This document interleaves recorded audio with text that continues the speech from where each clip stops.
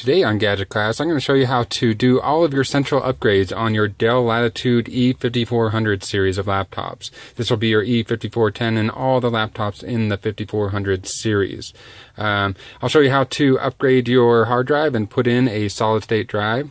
That's a really good upgrade to give your older computer a newer uh, zippy feel. I'm going to show you how to swap out the optical drive for either like a new Blu-ray or DVD burner or how to put a secondary hard drive in there to store all your videos, movies, all your fun uh, files on there.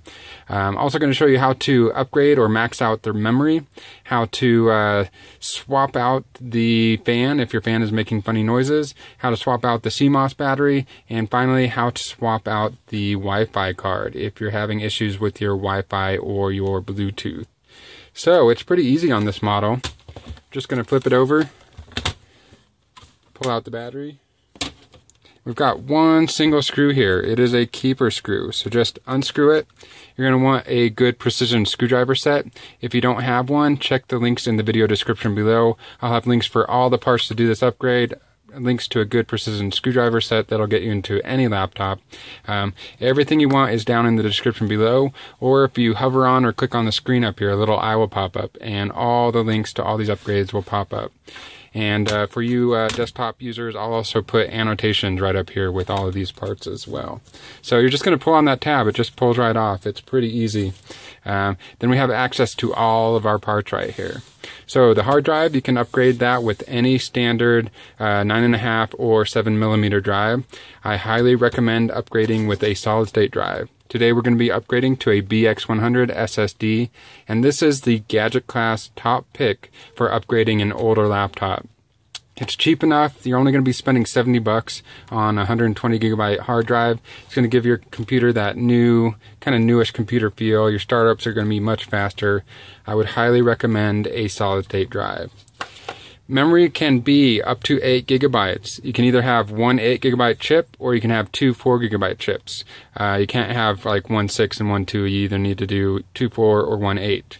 Um, pretty easy to get. It has to be DDR3 204 pin SODIMM 1300 megahertz. I'll put links to all this down in the description below. We got our fan right there. We got our CMOS battery. We got our Wi-Fi card. Everything is right here, easy to get to. Uh, let's start with the hard drive. Then we'll move on to swapping out the optical drive. Then we'll go to the memory, and then we'll go to the fan, CMOS battery, and Wi-Fi. So, since most people are going to be doing this for the hard drive, let's go ahead and pull out the hard drive. We have four screws holding the hard drive in.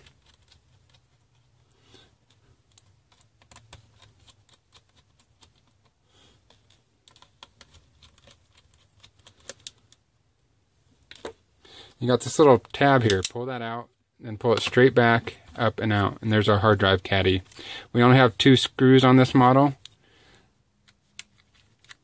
Go ahead and pop those out.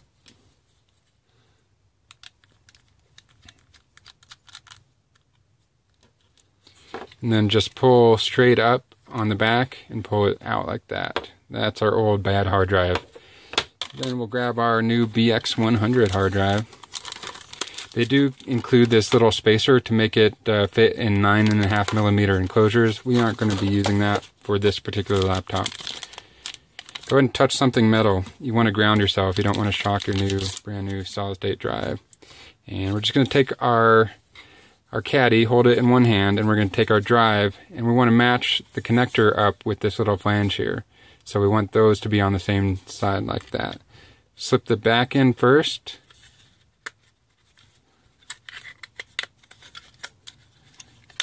switch that all the way back and then just push the front down. Make sure your screw holes line up on either side and then grab the same screws you removed it with. Put one in each side. This is going to cut your power consumption down and it's going to make your drive, uh, your computer run quieter and cooler. Those are all pluses. The Crucial BX100 has one of the best power consumption classes or ratings on the market. So our caddy is fully installed. We're just going to slide it into the space where it was.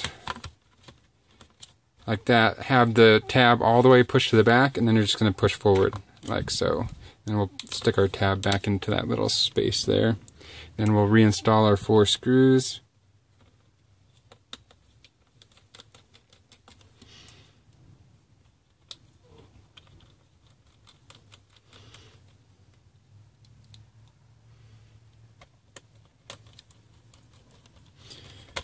Next, we will uh, swap out the optical drive. That's a that's a good upgrade to do. Um, even if you wanted to swap out the main drive for your solid state drive, you could then take the original hard drive, stick it in a second hard drive caddy, and use it in the second bay. So we've got one screw here. You're just going to take your same Phillips screwdriver, unscrew that. If your driver is not magnetic, get yourself a pair of tweezers or forceps pull that screw out. Then take your same screwdriver and just uh, kind of push on the screw hole, push it out towards the side. And then just kind of slide that tab out until you can grab it over here. And then just kind of wiggle it out and it comes out like so. So at this point, you could just simply uh, swap in your new DVD drive. If you're going to get a generic DVD drive or you're using a generic second hard drive caddy, which we are, we're going to have to take off our bezel and use that on our new hard drive. And some of them are a little tight. Um, they aren't too hard to get off. You want to start on this end, the thick end. You got one skinny end and one thick end. What we're going to do is uh, kind of pull up on it a little bit stick our drive up in there and there's like a little little circular pin in there. That's what holds the whole thing on there kind of. I'm going to kind of pry up right there while you're pushing over to the left. Just want to get it past that pin. And usually once you go past that pin right there, uh, the whole thing just kind of snaps off all by itself. That one little pin goes into that little hole in there and kind of holds it all. But you want to be gentle with this. Uh, you don't want to break off all these little tabs. And that's our old drive. As far as the second hard drive caddy goes, they're pretty standard. You can, you can get them in a 9.5 millimeter size or an 11 millimeter size. The Dell E5410 series uses an 11 millimeter second hard drive caddy. I'll put links to all this down in the description below. But we're just going to take our bezel. You pop that on your new DVD drive or your second hard drive caddy. And I usually start in the opposite end that I took it off. So I'll put this uh, flat tab in first over on this side. And then I'll just make sure everything's lined up.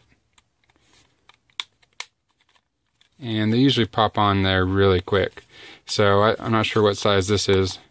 Um, but I like to put either a one terabyte or a two terabyte Samsung SpinPoint in these. That way you have plenty of room. You can store all your movies on there. Really a great way to do it, and you don't have to worry about an external drive. And then you, take and either use your old optical drive with a little uh, SATA adapter and plug it right into your USB port, or you get yourself an external DVD drive. Uh, I think this real estate is much better served by a second hard drive than it ever could be with an optical drive. Um, they just aren't used enough. And if you're going to carry something around to store files in, it might as well be hard in there instead of you know carrying around a little fragile USB internal enclosure. So we're just going to slide that in. Oh, yeah. We need to do the back flange. Don't forget about the back flange.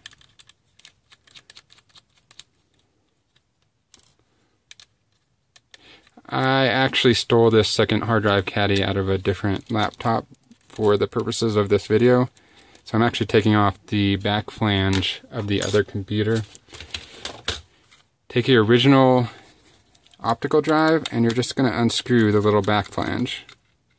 Two screws holding it on.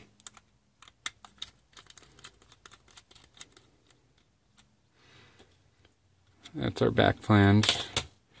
Take your new drive and it's going to have the same kind of hole set up for it. Put it on in the same orientation that the other one was in. Just screw it in there.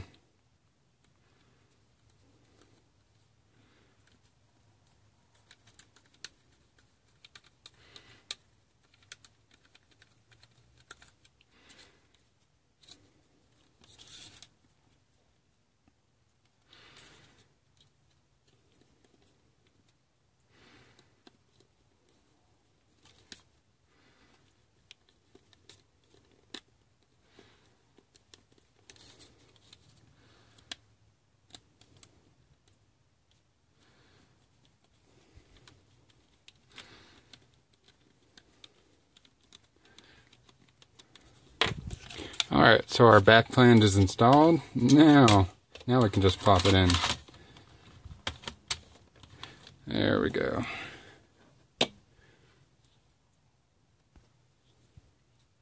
Take our same original screw. Screw that in. Now we have uh, an upgraded 1 terabyte, 2 terabyte, or our original spinning hard drive in that optical drive bay. Much better served. Let's move on to the memory. If you've never done this before, you simply uh, pull either of these two tabs on both sides and it'll kind of pop itself up like that. You want to make sure you do them both kind of at the same time. And then it'll kind of get to a point and stop and you can kind of just wiggle and pull it straight out at an angle. It's like a 33 degree angle or something. Same thing with the bottom chip.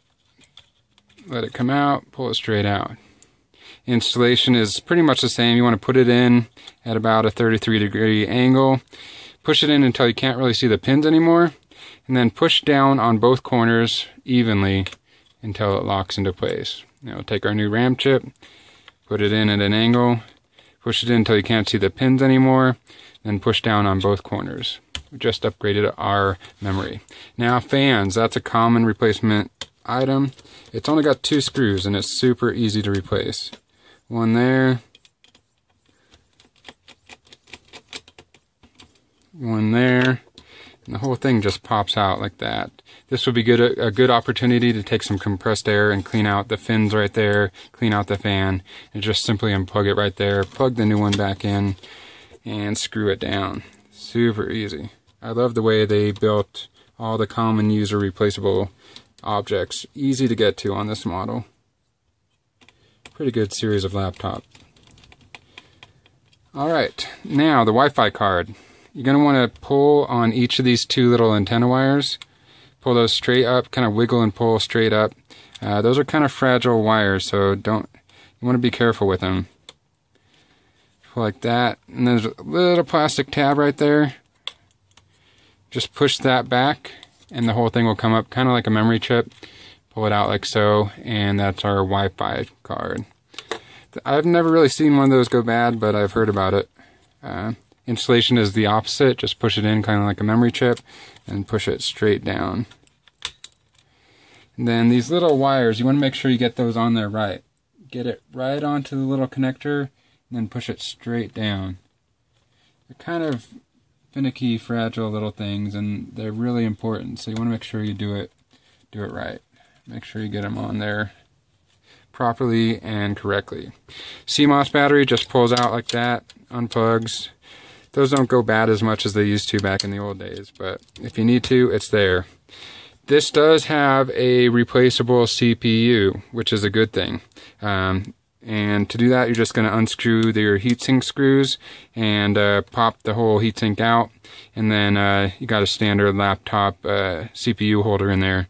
Um, I'll put a link to uh, the best processor you can put in there as well.